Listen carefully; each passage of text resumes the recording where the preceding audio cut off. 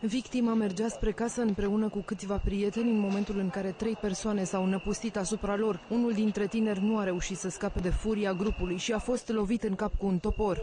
Toți au sărit cu parul, cu sabia, cu, cu bâte de baseball, cu toporul și au dat în ca într-un câine. Nevinovat, nu le-a făcut nimic. Deși medicii de la ambulanță l-au preluat imediat, tânărul a murit pe drumul spre spital. De prea multe lovituri, capul a fost, a fost făcut praf. Aici și-a tras suful, nu știu de ce l-a mai luat. Prietenii victimei spun că au fost atacați de clanul Gagaia, care obișnuiește să facă legea în buftă. Asta vrea să facă, să ne sperie pe toți, să venim să ne să plătim taxe de protecție. El este recidivist, el are 20 ani, 18 ani de pușcărie și bagă pe fisul care este, are da, e minor, minor, nu, are 18 ani, dar nu are bel de astea, dosare nu are nimic și vrea să-l bage pe ăsta, să facă decât un an, doi. E un clan care a mai împușcat acum o săptămână pe unul mare din centru, l-au împușcat, nu s-a întâmplat nimic. Nu a arestat pe nimeni, nu a făcut nimeni nimic. Polițiștii audiază acum mai multe persoane suspectate în acest caz. Familia victimei amenință însă că dacă oamenii legii nu vor lua măsuri, își vor face singuri dreptate. Păi legea atunci pentru ce? Nu facem noi? Nu facem noi. Dacă domnii polițiști ce să ne facem noi, legea facem noi legea.